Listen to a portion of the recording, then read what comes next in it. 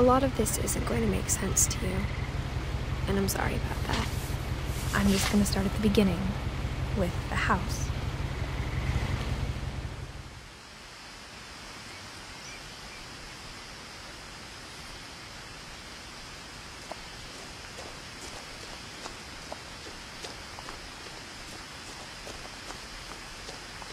I lived here until I was 11, but I wasn't allowed inside half the rooms.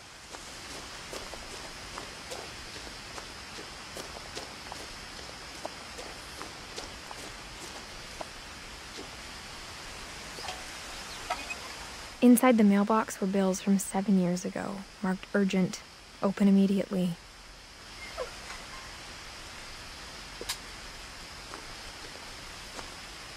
I hadn't been back since my brother Lewis's funeral.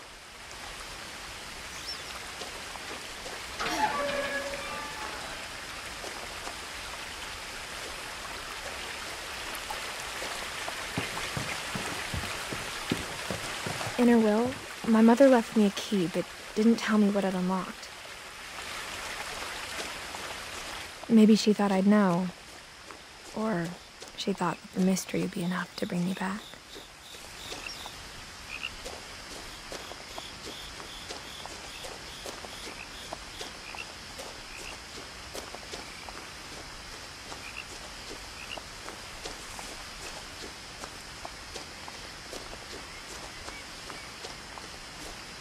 One driven this way in a long time, but I saw a few hoof prints.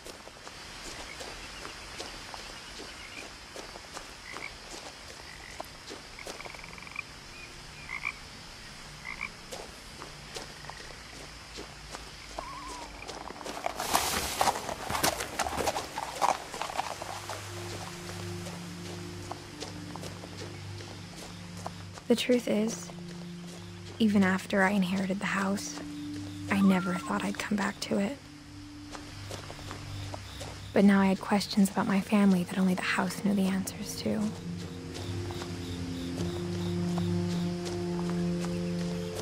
The house was exactly like I remembered it, the way I'd been dreaming about it.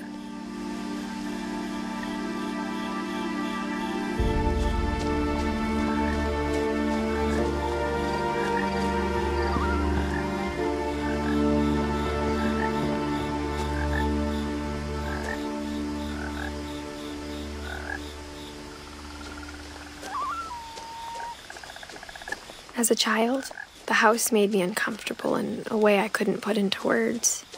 Now, as a 17 year old, I knew exactly what those words were. I was afraid of the house.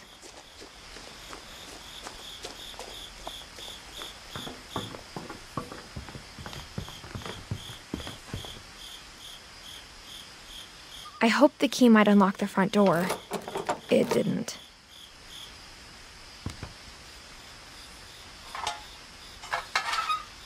Looking in, I felt like the house itself had been waiting for me.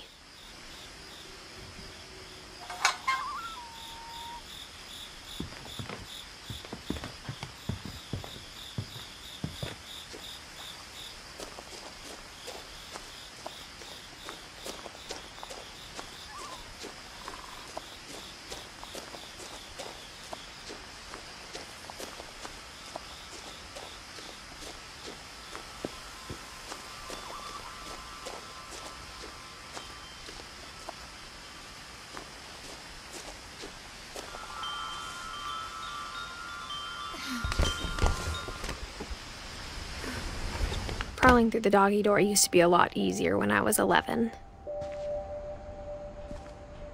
The power had been turned off the night we left.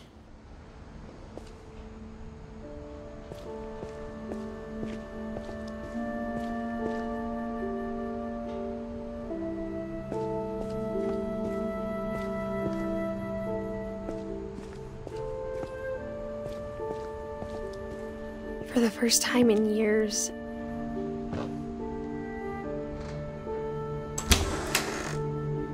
felt like I was home.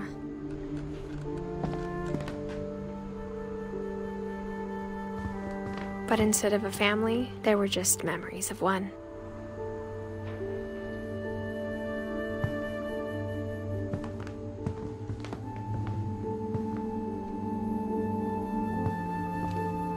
Like how after Lewis started working at the cannery, we all got sick of eating salmon.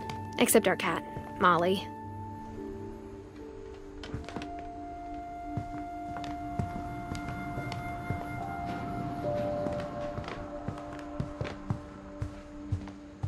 Table was still a wreck from the night we left.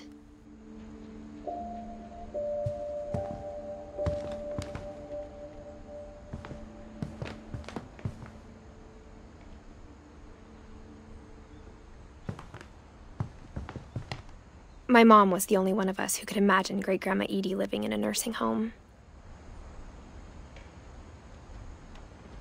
It was like a bomb had gone off, killing everyone but sparing the furniture.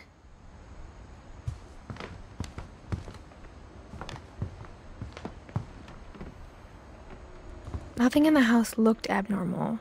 There was just too much of it, like a smile with too many teeth.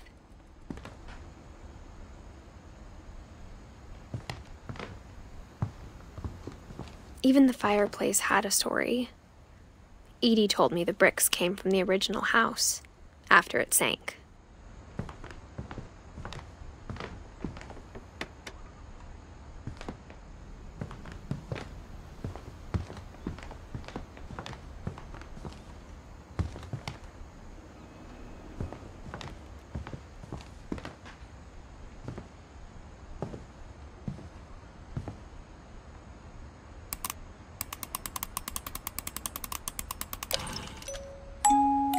Great grandpa Sven built a music box for Barbara, along with the rest of the house.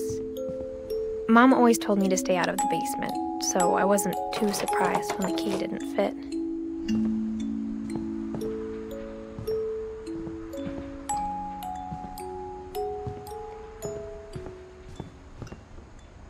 A lot of things got left behind in the whirlwind of that last night.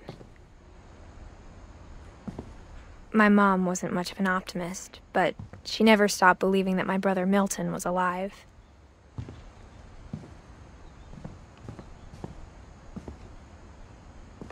After Milton disappeared, Mom sealed up all the bedrooms. Then Edie retaliated and drilled peepholes.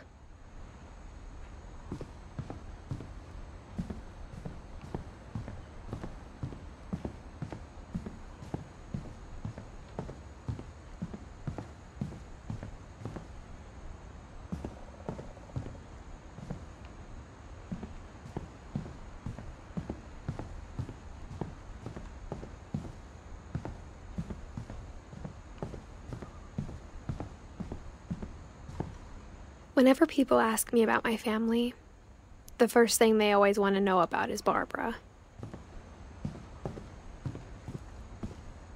Mom must have locked the third floor stairs on the night we left.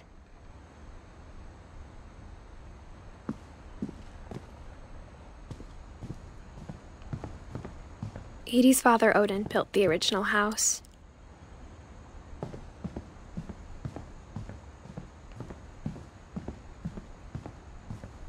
I spent a lot of time playing in Great Uncle Walter's room.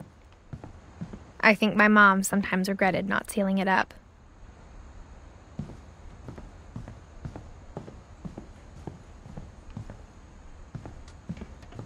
Lewis told me there were secret passages, but I never believed him.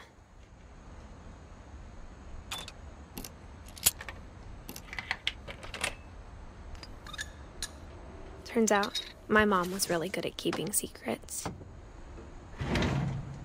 Now it was time to find out what my mom had been afraid of.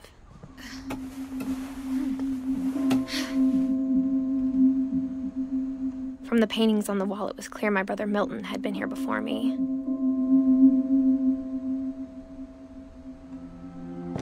Reading this, maybe it sounds like I had a plan.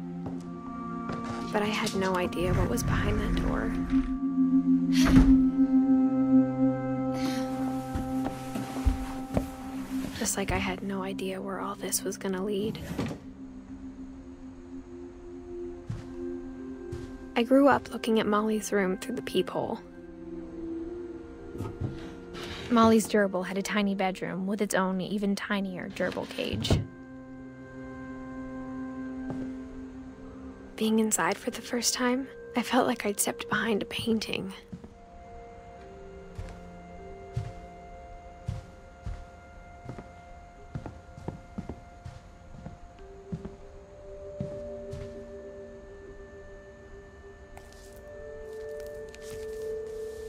December 13th, 1947.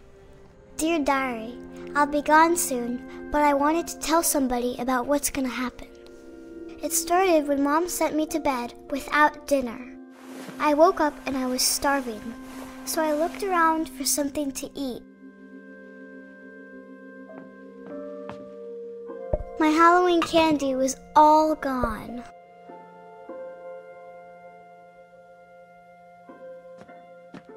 The gerbil food was dry, but I didn't mind it.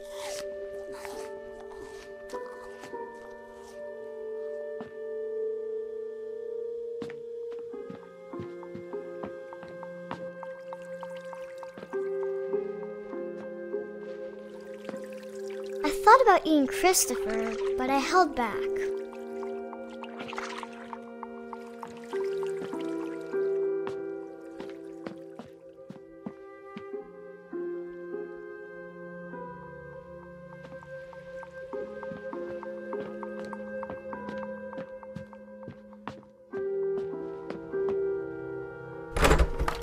Can I come out now?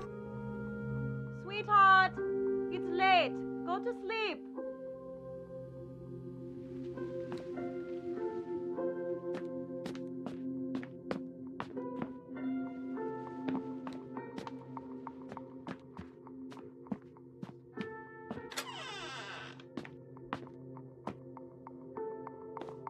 I kept eating and eating.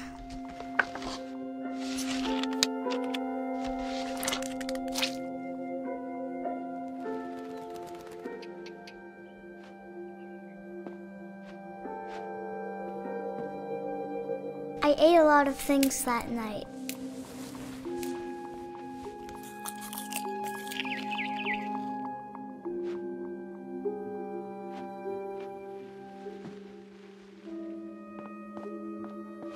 Then I heard chirping outside my window. It was a barn swallow going back to her nest. I reached out for her. Suddenly, I was a cat.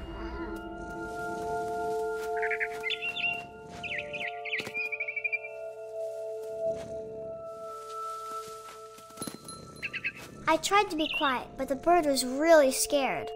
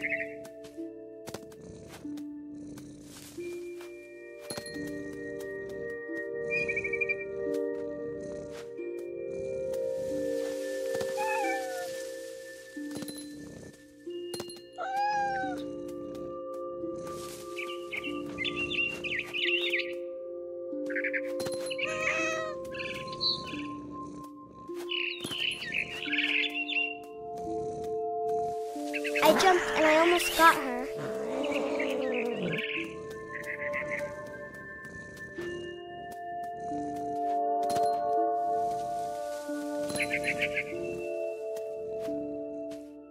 I could tell she was getting really tired.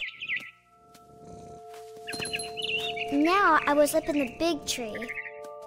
I promised Dad I wouldn't climb it anymore. All I cared about was eating that mama bird. I gobbled her up. And suddenly, I was an owl. First, all I heard was the wind. Then I heard little teeth nibbling in the grass.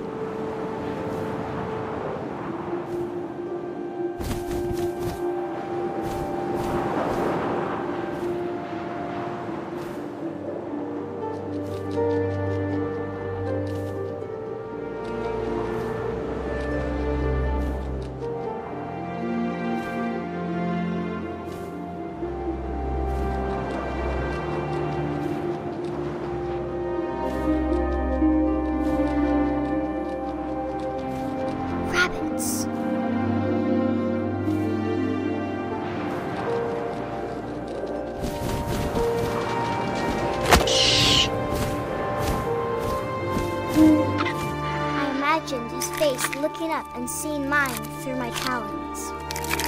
I swallowed him up, and I didn't chew one bit. Then I flew off to find something bigger.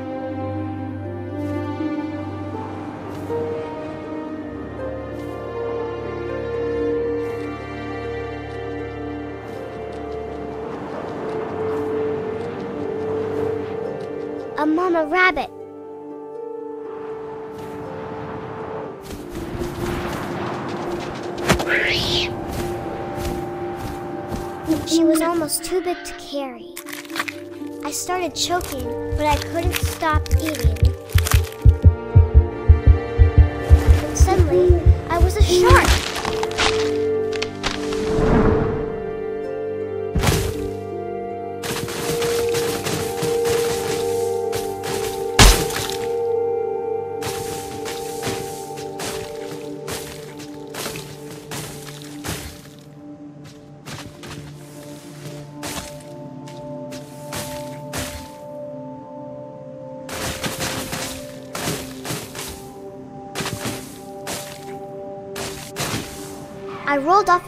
and into the ocean.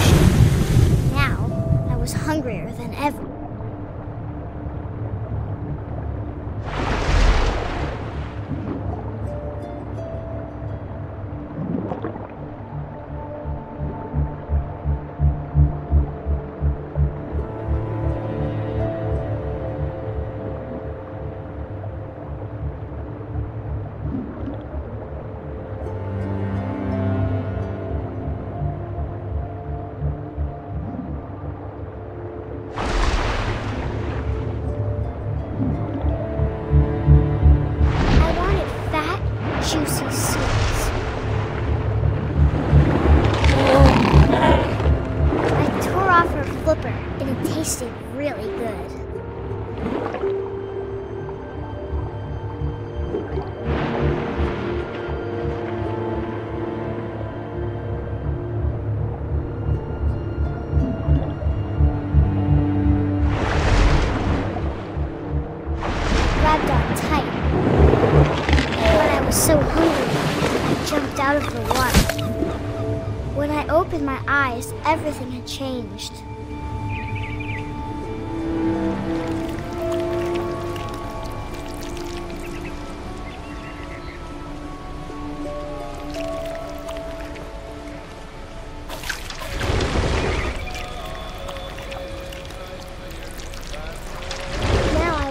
Monster and I smelled people everywhere.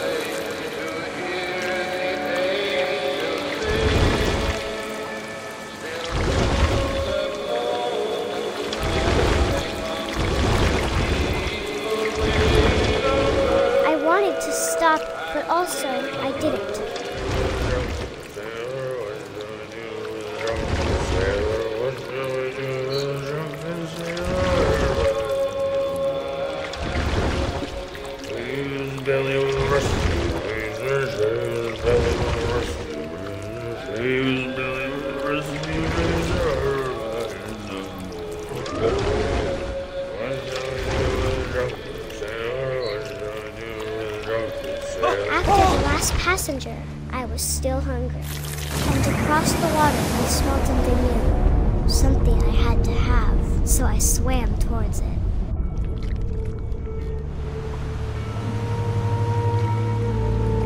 I slithered onto the sand, and the good smell went into an old pipe.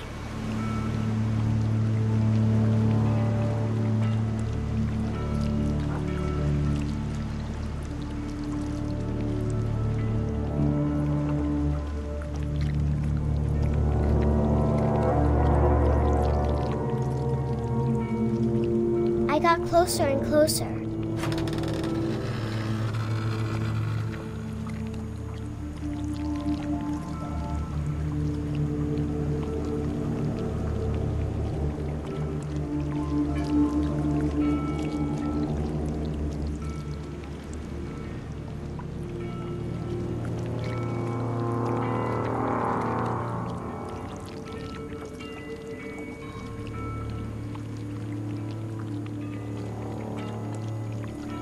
All my stomach started growling.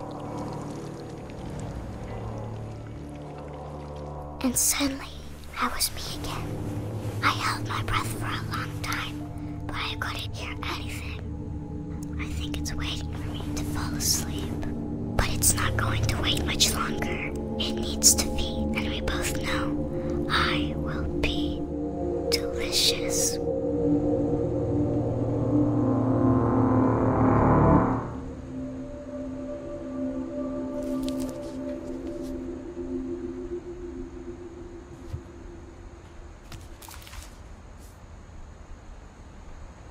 not sure if I believed all of that, but I'm sure Edie would have.